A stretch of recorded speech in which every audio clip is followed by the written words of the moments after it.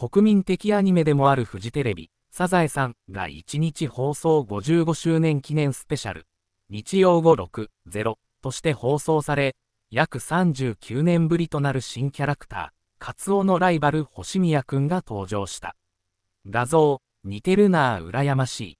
キャラクター化した左から霜降り、聖夜、チョコプラ永田翔平、松尾俊。長髪で鼻の高い星宮くんが登場すると、視聴者は大盛り上がり。ネット上では、鼻高、モテ男っぽい、喋った、声若いなどの声が上がった。約39年ぶりの新キャラ登場にサザエさん、星宮くんがトレンド入りした。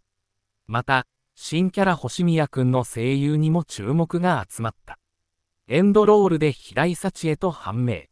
これまでにもサザエさんで声優を務めた経験を持っており、星宮くんは平井幸恵さん、準レギュラー、サブキャラ多数担当などの声が集まっていた。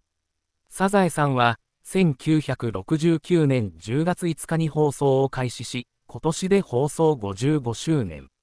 メモリアルな年を記念して、11月25日から1週間、祝い、放送55周年秋のサザエさんウィークを展開中。その締めくくりとして、この日、サザエさん放送55周年記念スペシャルと題した1時間スペシャルを放送した。今回は、猫の玉を含めたサザエさん一家一人一人にスポットを当てた全7本。見どころは、今回、約39年ぶりとなる新キャラクター、カツオのライバル星宮くんも登場する。カツオ、ライバルゲンル。では、体育の授業で走り幅跳びの新記録を出したカツオ。みんなに褒められ、家でも家族に自慢する。しかし翌日、隣のクラスにカツオの記録を破った子がいることが判明。